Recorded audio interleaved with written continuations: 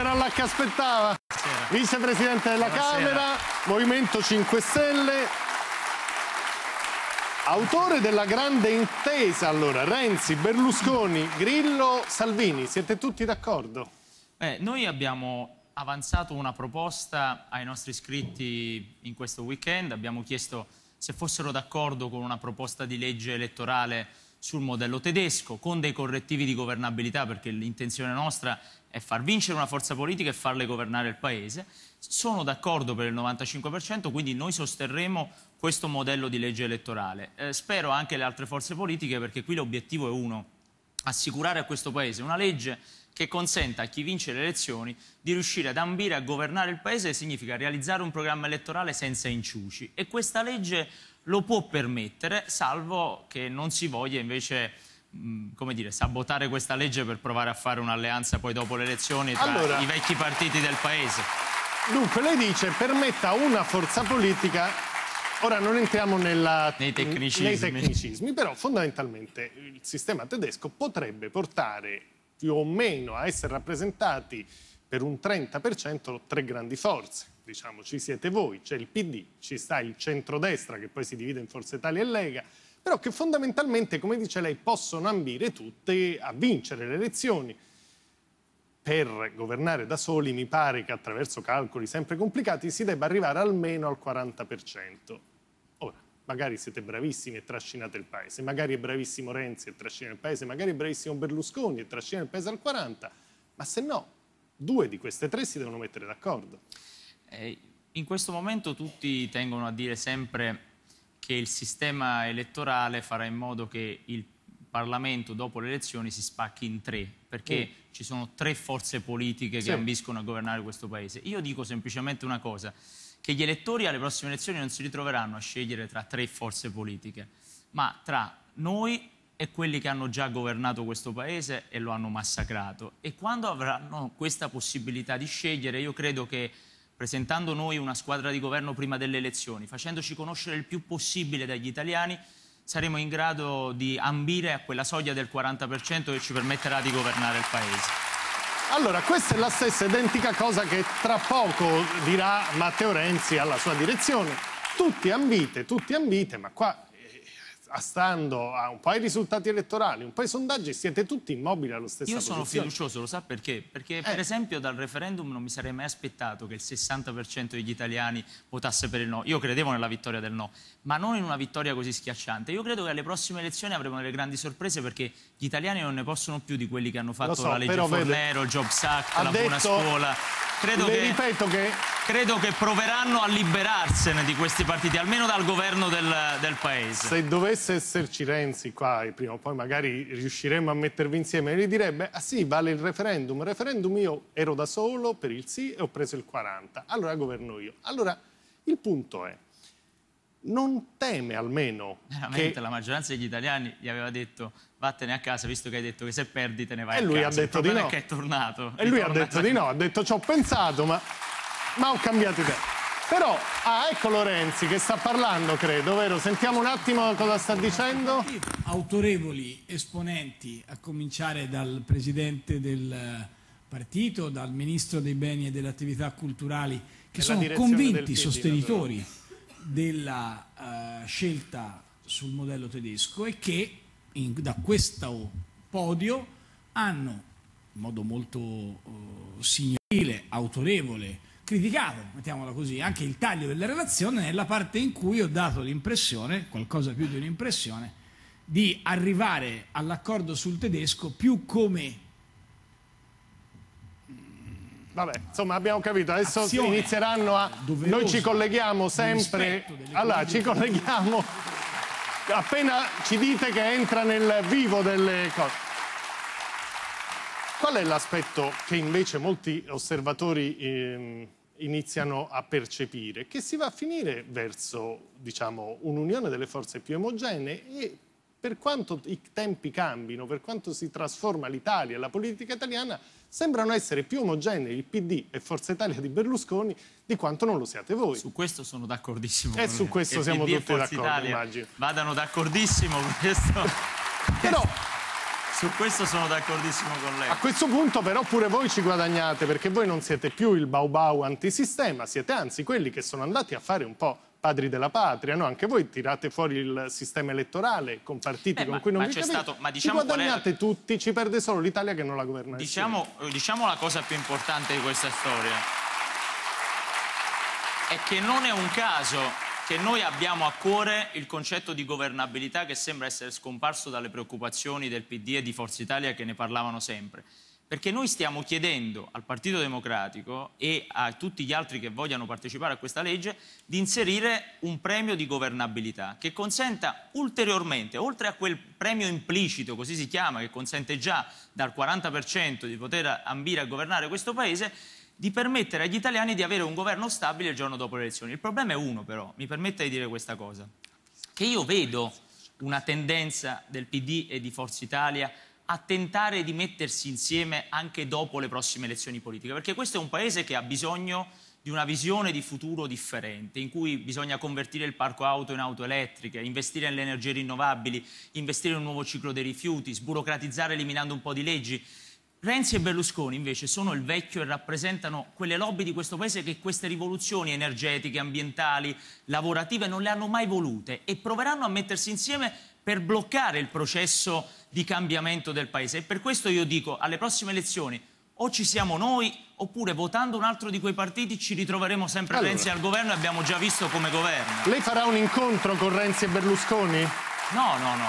no non ma... serve. Guardi, il dibattito è stato principalmente parlamentare e pubblico. Ieri i nostri colleghi della Commissione Affari Costituzionali, quindi del Movimento 5 Stelle, sono, da- sono andati dai loro colleghi del PD a portargli la proposta che avevano votato i nostri iscritti. Ma tutto quello che abbiamo proposto è pubblico. L'obiettivo nostro è, prima di tutto, accogliere l'appello del Presidente della Repubblica, perché il Presidente della Repubblica ha detto dobbiamo fare una legge elettorale e dobbiamo farla omogenea tra Camera e, E qua Senato. diciamo già c'è un primo tratto dei 5 Stelle, no? prima all'epoca di Napolitano era uno dei nemici, adesso invece il Presidente della Repubblica è una Beh, personalità di Giorgio, cui Giorgio accogliere... Napolitano si è permesso, secondo me, violando la sua- il suo ruolo istituzionale, di entrare a gamba tesa in una, in una serie di cose che non gli spettavano. Mattarella il Presidente. Mattarella, io da quando è stato eletto l'ho sempre visto un Presidente super partes che è in grado anche di tutelare le forze politiche di maggioranza e di opposizione. Allora, Poi possiamo facciamo- non essere d'accordo su alcune cose, per carità. Facciamo conto che l'accordo si faccia. eh, perché tutti dicono che è automatico votare in autunno? Beh, perché in questo momento abbiamo il partito di governo che ha paura di fare la legge di bilancio perché probabilmente, siccome vuole ascoltare tutti i diktat europei, vuole fare una legge lacrime e sangue per i cittadini, reintroducendo l'IMU, aumentando l'IVA, facendo una, cosa- una serie di cose impopolari, ma tra l'altro per me folli. E per questo che cosa fa? Strategicamente vuole andare a votare prima per evitare di perdere le prossime elezioni ancora di più, visto che farà la legge di bilancio. E poi c'è un altro dettaglio. Le elezioni siciliane il 5 novembre, anche quelle spaventano il Partito Democratico, nessuno ne sta parlando. Io credo che i siciliani ci regaleranno la prima regione 5 Stelle d'Italia e questo li spaventa ancora di più. Quindi è tutta strategia, però possiamo dirci una cosa, Floris, se veramente il PD avesse avuto a cuore il voto degli italiani, saremmo andati a votare dopo il referendum, quando è caduto il governo Renzi, invece di creare un altro governo ancora che non mi pare che abbia migliorato la vita degli italiani. Le Allora, famiglie senta, italiane non è che qual è il problema? benissimo.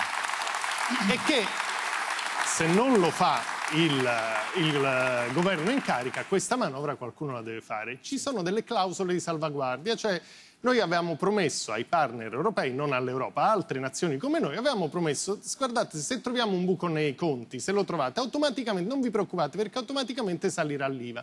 Dice Pierluigi Bersani che bene o male di economia e di governo ne capisce, poi può piacere o non piacere, dice guardate, elezioni in autunno, la prima cosa che succede primo gennaio, IVA al 25%, tasse più alte per 20 miliardi. E non si fa neanche in Ma tempo per noi evitarlo. infatti stiamo chiedendo di andare a votare a settembre in modo tale che il nuovo governo abbia la possibilità di fare la legge di bilancio, perché quello che dice lei che Cioè, ci- lei che citando- data chiede? Beh, noi abbiamo chiesto tra le due settimane centrali di settembre al massimo l'ultima di settembre, perché poi se si slitta ad ottobre allora ci sono magari più difficoltà per approvare la legge di bilancio entro il 31 dicembre. Vuol dire campagna elettorale d'agosto. Perché non vorrei, non vorrei, non vorrei si, non vorrei si, come dire, terrorizzassero i cittadini. eh, non è che siccome si va al voto aumenta l'IVA, il discorso è che bisogna avere il tempo dopo le elezioni da dare al nuovo governo per fare la legge di bilancio, che si deve fare entro il 31 dicembre di quest'anno. Allora, quindi arriva il, il governo di Ma- è andare a votare, candidano. provare a mandarli a casa e quindi scongiurare una legge di bilancio lacrime e sangue per gli italiani. Allora, lei sta chiedendo le elezioni a settembre, il che vuol dire tra tre mesi, il che vuol dire campagna elettorale praticamente immediata. Lei sa le turbulenze dei mercati, di questi famosi mercati, sempre d'estate capita, o no? Sono l'estate quelli che fanno paura a chi ha messo i soldi da parte. Allora voi probabilmente chiedendo le elezioni a settembre avete già in mente, ad esempio, chi guiderà l'economia del paese, avete già in mente chi si, sarà, si dovrà occupare del lavoro, oggi 6.000 e passa disoccupati annunciati, bene che va all'Ilva. Allora, lei ha dei nomi da dare subito per dire tranquilli, anche se si va a votare a settembre, l'economia sarà in buone mani. Infatti lei ha anticipato la mia risposta. Eh, proprio, il nostro obiettivo è proprio questo, rassicurare sia i cittadini che i mercati sul fatto che ci sarà una squadra di governo pronta prima delle elezioni politiche, anche se si dovesse andare a votare a settembre, a fine settembre, e sarà una squadra di governo che avrà dei rappresentanti autorevoli dei dicasteri dell'economia, dell'interno, della giustizia, che parlino a quei mondi, oltre che a parlare ai cittadini, e raccontino quale sia la ricetta per risolvere i problemi dell'Italia. Allora, la ricetta base su cui la valuteranno è il il rapporto con la moneta, con la moneta che abbiamo. Lei sa, uno Stato è due cose fondamentalmente, la sicurezza e la moneta. Allora, noi abbiamo una moneta che si chiama euro. Lei chiede le elezioni da adesso a tre mesi, vuole cambiare questa moneta?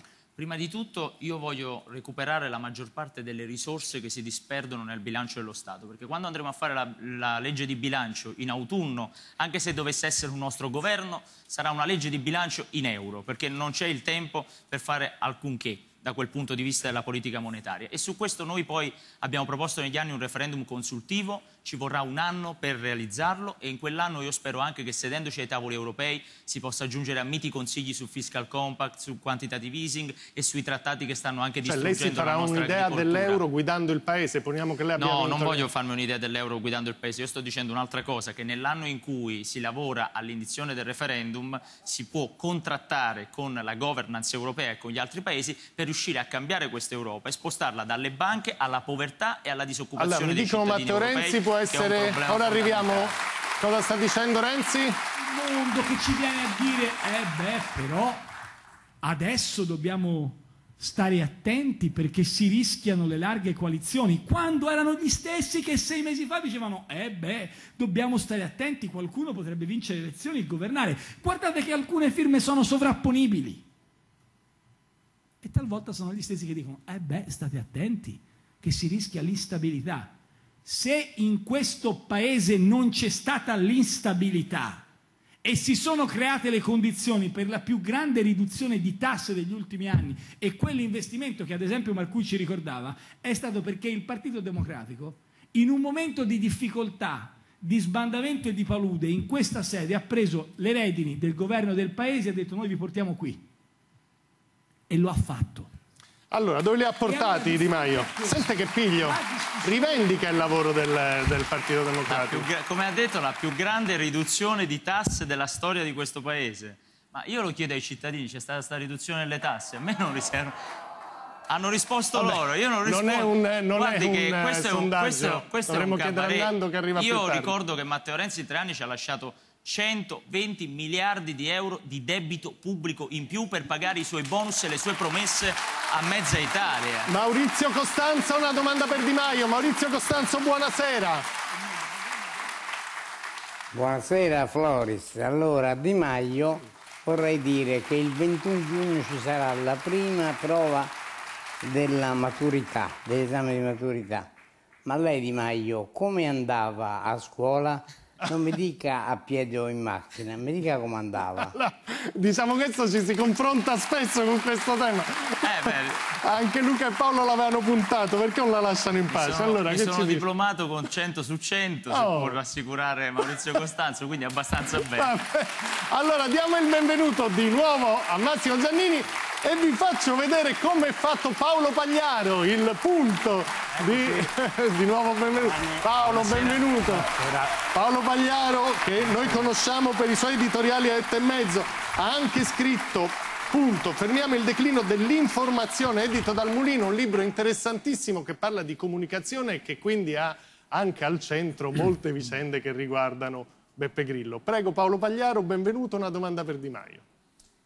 No, beh, per Di Maio avrei parecchie domande. Una mi incuriosisce. Oggi eh, la Regione Liguria ha approvato una legge che esclude i cittadini stranieri residenti in Italia da meno di dieci anni dall'accesso alle case popolari. Il Movimento 5 Stelle ha votato contro questa legge, secondo me onorevolmente, insieme al Partito Democratico.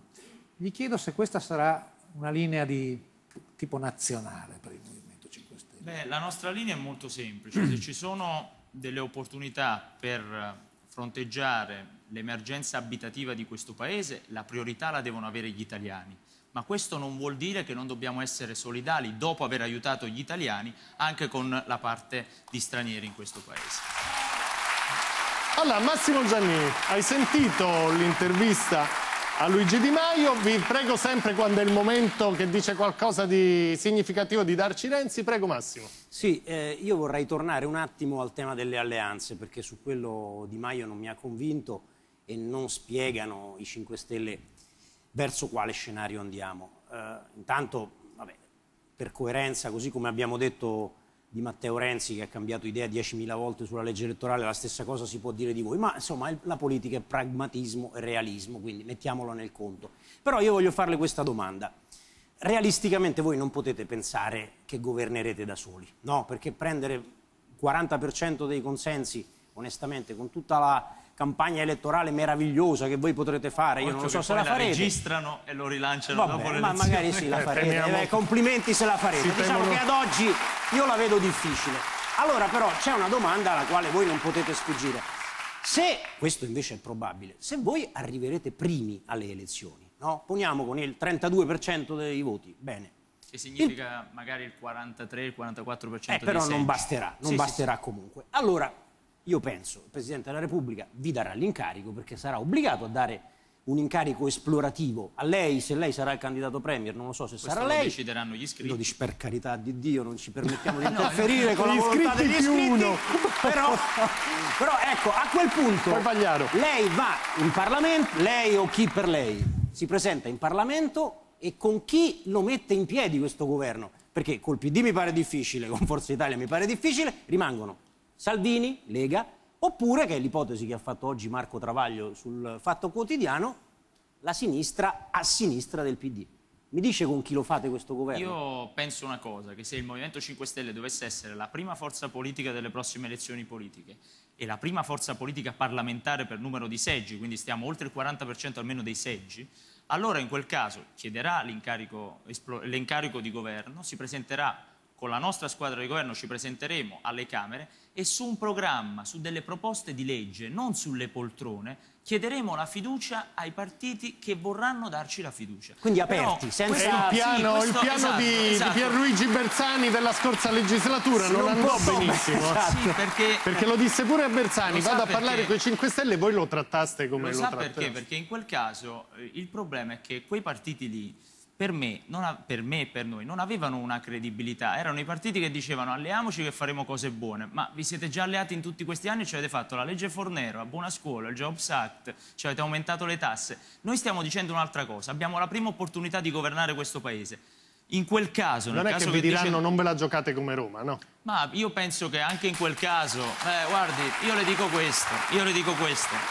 Noi a Roma ci vogliamo prendere, noi a Roma ci stiamo prendendo e ci vogliamo prendere tutte le responsabilità del mondo di risolvere i problemi di quella città, come ci vogliamo prendere la responsabilità di mettere a posto un paese che è stato ridotto in maceria. Paolo. Pagliaro. Ah, Vi ricordo che fermiamo il decreto delle informazioni, ci sono capitoli anche molto, l'inizio proprio, no? parli anche molto della natura del movimento di Beppe Grillo. No, vabbè, io mi occupo della irrilevanza della verità nell'informazione di oggi e nella politica di oggi. E a un certo punto mi occupo della rete e occupandomi del mito della rete, dell'ideologia della rete, ovviamente incrocio il Movimento 5 Stelle, che è il partito della rete. Io discuto del Movimento 5 Stelle due o tre cose. La prima è la copertura culturale, oltre che politica, che dà sia alla rete sia alle sue degenerazioni. La seconda questione è l'utilizzo della rete come grimaldello per smontare la democrazia rappresentativa o da contrapporre alla democrazia rappresentativa. E la terza questione è questa frase di Grillo dell'anno scorso, sulla quale secondo me non si è riflettuto abbastanza, quando lui ha detto che si augura che gli italiani votino con la pancia invece che con il cervello. Ora, per chi vota con la pancia la verità è irrilevante e questo è esattamente il tema del mio lavoro. Volevo sapere cosa ne pensa lei. Io penso che la rete, come ogni altra cosa, non debba essere un'ideologia, quindi sono d'accordo con lei, non debba essere ideologizzata.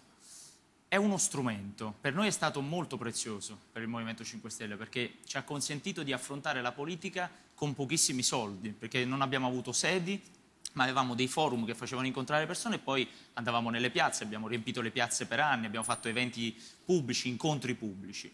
Quindi oggi dobbiamo anche dire che la rete si sta evolvendo e addirittura sta creando delle applicazioni che tolgono eh, il loro ruolo a intere fabbriche. il punto è la pancia, eh. credo che Sul il tema... punto No, no, arrivo, arrivo. Si Sul- vota con la testa tema- o con l'emozione del momento? Basta, non ne posso No, più. io oppure- ricordo, io ricordo l'espressione di Grillo perché riguardava la campagna referendaria del referendum di dicembre e lui diceva non vi fate fregare da quello che vi sta raccontando il governo sul referendum, ma votate sentendovi e con non sentendo loro. un'intelligenza emotiva. Matteo Renzi? una sinistra radicale che non ha voluto l'accordo sul Rosatellum, che è bene dire con forza. Cari amici e compagni, qualcuno di voi l'ha detto, che dite, eh, però si poteva essere più decisi sul Rosatellum. Sul Rosatellum ci stavano Verdini e Salvini, perché ci hanno lasciato a piedi anche gli ex compagni di strada. È chiaro questo? Sul maggioritario, sul Mattarellum, non c'erano i numeri. E chi dice il contrario non si rende conto di quello che sarebbe accaduto ove noi avessimo portato una legge elettorale in Parlamento e questa fosse stata bocciata. Allora, Di Maio ci crede? Eh, lui voleva il maggioritario, voleva il proporzionale, cioè voleva giocarsi le carte per governare lui o voleva le condizioni per mettersi d'accordo con altri? Per non ridurre questa discussione poi a una discussione da club della politica, qui stiamo discutendo di una cosa, di fare in modo che chi vinca le elezioni non si debba andare ad accordare con quello contro cui ha condotto la campagna elettorale, perché noi abbiamo visto in questi anni, votavamo Bersani e ci ritrovavamo Letta, votavamo Berlusconi e ci ritrovavamo Monti, alla fine in questi anni ci hanno sempre fregato così. Giannini. Allora, no, no, ma per concludere, se il PD avesse voluto una legge in tal senso, cioè scientificamente progettata per far vincere il primo che arrivava, c'era già ed era la legge che oggi è alla Camera, si poteva applicare al Senato e andare a votare. Poi si è presa quest'altra strada. Per noi l'importante è che gli italiani, quando vadano a votare nei- nelle prossime elezioni, abbiano la possibilità di indicare una forza politica e quella deve essere al governo. Allora, senza più tocca a Giannini, ma ci- chiede la parola a Pagliaro, poi Giannini, prego. No, solo brevemente, ma è invece il diritto degli italiani a scegliere i loro parlamentari, che voi avete richiesto, sottolineato, rivendicato per molti anni, con questa legge dove va a finire? Qui c'è il collegio uninominale e quindi i- gli italiani troveranno sulla scheda elettorale il nome del candidato del loro collegio e poi c'è la quota proporzionale. Quindi adesso vedremo come si articolerà la legge perché c'è il dibattito sul voto congiunto, disgiunto, ora non la voglio fare critica, però con questa legge il nome del candidato del proprio collegio lo trovi Ma sulla lei può scheda fare un accordo con, eh, con il PD? Lei è il leader del suo partito, presumibilmente, senza mai parlare con Renzi? Non vi parlerete mai, non farete una Perché telefonata, vede, non farete un incontro. sulla Ma è una legge- cosa Ma importante. lo sa qual è il problema? È che in questi anni le decisioni per gli italiani, invece di prendersi in Parlamento, dove spendiamo 100.000 Ma euro lui non all'ora... c'è neanche si-. Esatto, questo è il punto. Allora si dovevano prendere sempre altrove. E altrove si sono decise le peggiori cose per questo Paese. Noi le vogliamo decidere in Parlamento, Ok, lì dove Giannini. ci pagano per lavorare. Senta, io ritorno proprio sui temi più concreti. eh, Ne avete fatto cenno prima alla manovra, che è la cosa che sta più a cuore poi agli italiani che fanno la spesa tutte le mattine, oppure ai disoccupati che non hanno lavoro o a quelli che l'hanno perso. Voi vincete le elezioni ai primi di settembre, metà settembre, se e quando si voterà. Vorrei sapere che manovra economica fate, dove trovate i 30 miliardi e come disinnescate, perché credo che non vogliate procedere, le clausole di salvaguardia, cioè gli aumenti dell'IVA. Mi dice 3-4 misure fondamentali su questo. Allora, Ecco, E portare- quando sta concludendo me lo mandate in studio. questi sta- mesi è Eccolo. capace di fare questo o tutte le nostre discussioni sulle formule, sugli algoritmi lasceranno il tempo che trovano. Vabbè, è una conclusione avessi classica. detto una cosa interessante Vabbè, magari l'abbiamo, aperto l'abbiamo, seguito sul labiale, non Ci è detto che lo provato in succede. tutti i modi, ma non ne ha detta una interessante. Eh, magari stanno dicendo la stessa cosa quelli che guardano la trasmissione io da so- Via nel no, Nazareno. magari lo dicono anche di me, io lo dico di Senta, lei lo sfida, come lo vede? No, ma Lei che- lo sfiderà. Sarete lei, Renzi, un candidato di Berlusconi che non si potrà candidare, e Salvini. Qual è il punto di forza di Renzi e qual è il suo punto debole? No, io ho smesso anche di stimarlo come, come persona, come, come personaggio Come politico. essere Per umano, me- diciamo, ha No, no, come di- personaggio politico perché... No, questo lo dice lei. Io, mi per- io penso soltanto che alle prossime elezioni politiche, glielo ripeto, ci sarà un'idea di paese rappresentata da noi e poi da tutti gli altri. Anche perché o voti Bersani, o voti Berlusconi, o voti Salvini, sempre Renzi ti ritrovi a capo del governo, purtroppo. Quindi- Allora, la risposta a Giannini. questo il problema. Arrivate al governo, grande festa in tutto il paese, i 5 Stelle cambiano il mondo, ci Floris. saranno cose bellissime tutti in piazza, poi si trova il suo ministro dell'economia che immagino sarà un professore, sarà un gran politico, sarà una persona con una grande capoccia e deve trovare da un giorno all'altro 30 miliardi, se no l'Europa ci, E poi ci deve fa fare la evitare, fine della Grecia. deve evitare 19 Prima- miliardi di prima di aumenti IVA. Ci di dica tutto- lei una cosa interessante, visto che lei dice che sono, non le dice io sono molto ottimista. Io sono molto ottimista sul fatto che in questo paese ci siano tantissimi problemi. Ma quei problemi sono una grande opportunità di recupero di risorse pubbliche. Dai consigli di amministrazione delle partecipate di questo paese ci costano 9 miliardi di euro all'anno. La corruzione, è vero 60, 40, 70, ma con una vera lotta alla corruzione possiamo almeno drenare Non è 10 una miliardi manovra di economica euro. questa, Aspetti, aspetti. Di Maio, non è una faccia- manovra economica. Questa Queste non è la manovra economica vecchio stile perché qui non si è No, mai non lo voluto è proprio combattere perché la la, corruzione. la corruzione, qui servono 30 miliardi a ottobre Certo. e lei non è che arriva Ma i 30 il miliardi 30 settembre e dice no, mi faccio scusi, la manovra, scusi, lotta alla corruzione. I 30 Domani miliardi, non entra e le sto elencando euro. le voci di spesa, Eh, poi se mi, se mi prego, interrompe. scusi, scusi, mi accaloro, abbiamo i ma- 9 miliardi dei consigli di amministrazione delle, grandi, delle partecipate, abbiamo 10 miliardi di euro di enti inutili. Possiamo Scusi, recuperare quindi 10 sono 9 miliardi, di euro. che non spenderete più.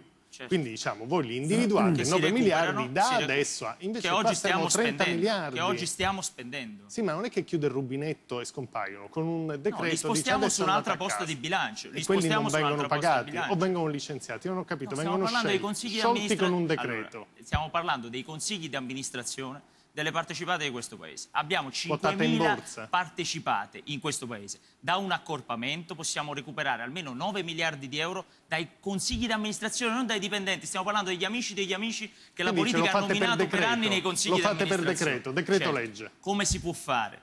Si possono recuperare i 10 miliardi di euro all'anno almeno dalla lotta alla corruzione, un previsionale, quindi noi possiamo avviare delle serie di politiche anticorruzione. Guardi, Abbiamo i già detto a 300 Di miliardi Battista, di euro. l'Europa vi boccia. Se presentate No, ma questa poi manovra, vengo anche all'Europa perché mi scusi con un 4 Giannini, mi scusi, purtroppo. mi scusi, perché poi vengo anche all'Europa in questa cosa. Noi abbiamo il fiscal compact che entra nei trattati europei alla fine di quest'anno e io non sono assolutamente disposto a togliere soldi dalla sanità del popolo italiano, Giusto. dai servizi sociali per darli Giusto. ad un fondo Ok, europeo e anche su Allora, quello dobbiamo alzare la bene. voce e dobbiamo alzare la voce.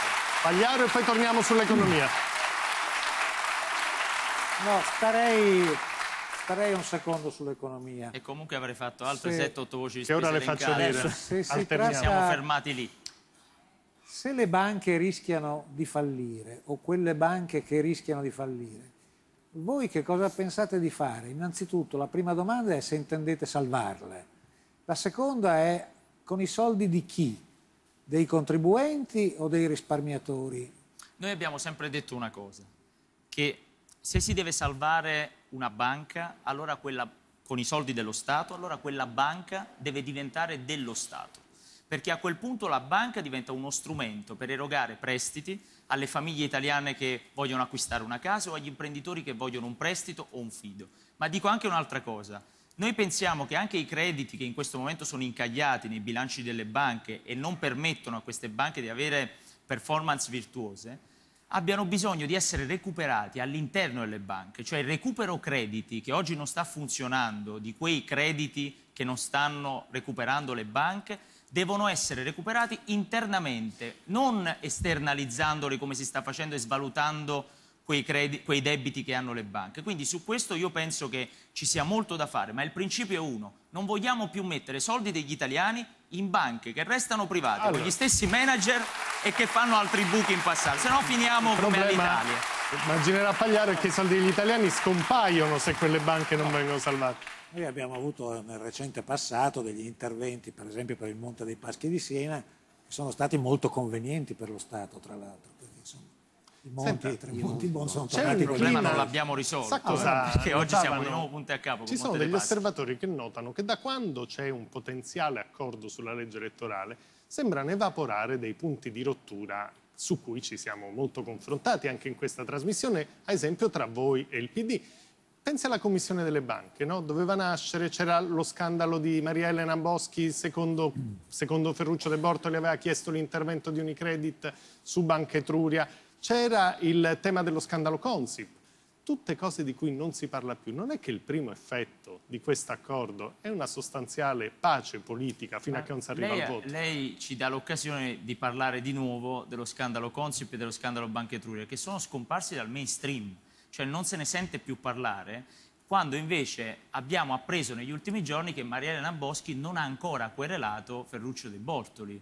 Cioè significa che colui che la accusava di essere andata a Unicredit a chiedere di salvare la banca del padre, alla fine non ha querelato colui che la accusava. Quello che dico io è, a questo paese serve una legge sul conflitto di interessi, se no non ne usciamo più. Maria Elena Boschi, da ministro di quel governo, che stava facendo un decreto per salvare la banca del padre, non poteva andare da Unicredit addirittura a chiedere di salvare la banca del padre, perché non c'è andata da Maria Elena, c'è andata da ministro Boschi e quella ha una sua valenza Però quando sa bussi alle, è par- alle passato, ad esempio, inosservato? Io mi sarei immaginato che una forza politica come la vostra l'avrebbe sottolineato in maniera più netta. Renzi ha detto che sul caso Consip ci sono state delle istituzioni che hanno tentato di sovvertire l'ordinamento. eh.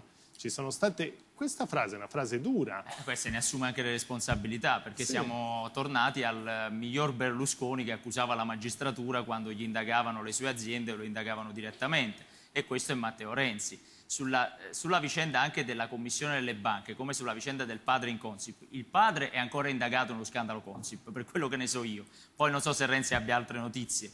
E quindi può anche fare il complottista, ma l'indagine resta in piedi. Sulla questione delle commissioni delle banche, questa commissione d'inchiesta sulle banche si doveva fare un anno fa, hanno temporeggiato, hanno temporeggiato e adesso vogliono andare a votare anche No, per farla ecco, saltare. adesso infatti era quello che stavo per dire.